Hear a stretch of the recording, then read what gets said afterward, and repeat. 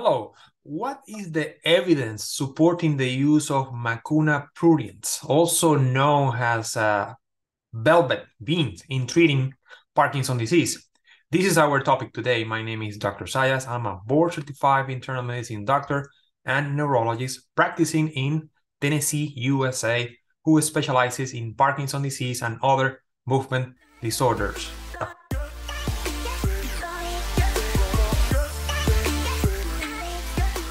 Let me start saying that whenever you want to search for a medical topic, go to pubmed.gov. There are multiple YouTube videos to teach you how to do a good search. Remember, be careful with Dr. Google. Make sure that you understand how to interpret clinical trials. It is best to allow your physician to help you to understand medical studies as they are trained to do so you need to understand multiple things. Number one, bias. Number two, conflict of interest, very important. And the type of study also, even the type of the journal is important to take into consideration. Now let's discuss about Mucuna pruriens, which is our topic. Mucuna is a bean that has been used for thousands of years in India and places in Africa to treat a syndrome described at that time as bradykinetic, which means slow movements, tremors, and dementia. By the way, levodopa was first isolated from fava beans back in 1913. However, mucuna bean is the plant with the highest level of levodopa. When I say levodopa, I mean L-dopa. It's the same thing. The amount of levodopa in these beans varies from 60 milligrams to 500 milligrams. In other words, you never know how much you are getting. Also, this variability in terms of doses does not allow you to have a steady state or close to the steady state. During the beginning of the disease might not be a big factor uh, because everything works very well usually. But after four years, five years or so, there is no more honeymoon period.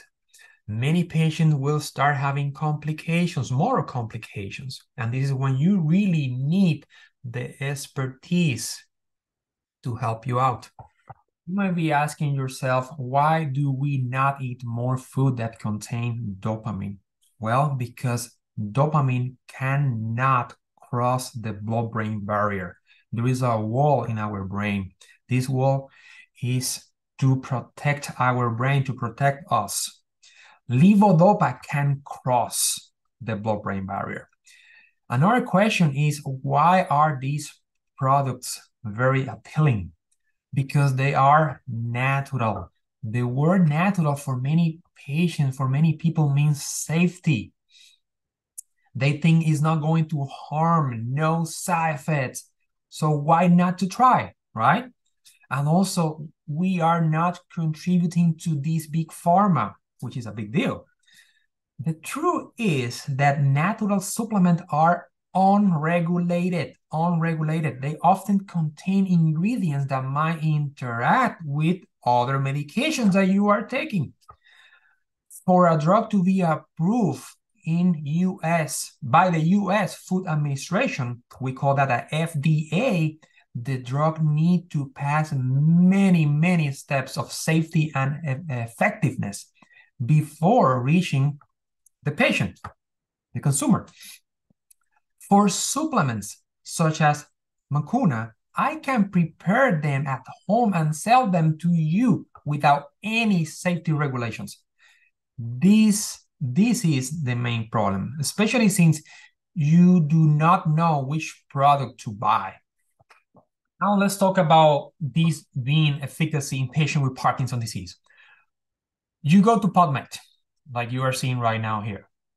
Um, you type mucuna pruriens and Parkinson. You can type Parkinson's disease as well. We show the same thing. You are looking for systemic reviews, right?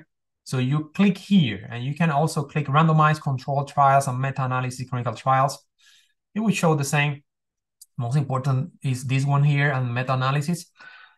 And you will see that we only can find four randomized control trial from 1995 to 2023. If we click here review, you will see 18 articles. Many of them are basically uh, case series or case report or uh, or um, expert opinion, which which is the lowest level of evidence possible. This study uh, that you guys see here was uh, published 19 years ago. It was a randomized controlled trial, but only eight patients, and one single dose for Mucuna and uh, carbidopa levodopa.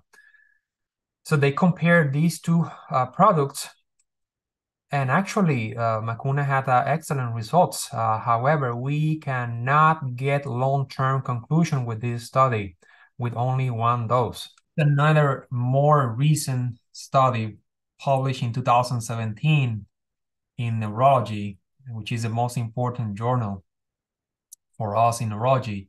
Again, small study, 18 patients.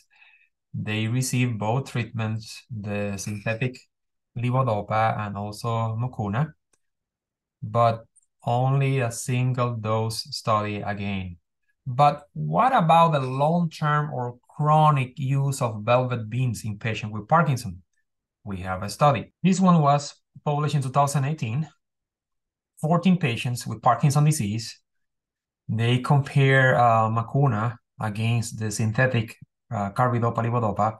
And you can see here that 50% of the patients on Mucuna could not tolerate the product, the Mucuna, due to either GI side effects or worsening of motor performance. If you think that you are getting what they claim in the label of the product, think again, because this is not true. Let me show you something. And this article, published in 2018, showed that the amount of levodopa in six commercial Mucuna pruriens products varied from 6% to 141% of what they claim on, on the product label. In other words, you cannot believe the product label, which makes things more complex. Now to finalize, let's put everything together here. This is my opinion regarding supplements, specifically uh, Mucuna pruriens. If you live in USA, there is no need to use these products. There's no need there's no reason to to take these type of risk. However if you are doing well taking this product Mucuna getting the best of you then continue with that. Why to change something is working for you if you live in a country with limited resources then it is an option uh, if you have the correct guidance from uh, a neurologist in your area if you ask me whether I will take this product, Mucuna pruriens, if I have Parkinson disease, the answer is no. I will be taking Rytary or regular Sinemet in combination with a very well-designed exercise program and a balanced diet. Another thing I want to uh, mention is if you want to check for clinical trials in your area, just go to this uh, website, clinicaltrial.gov, uh, and you will find all the trials around your area. If you like this video, don't forget to like and subscribe to my channel. See you soon.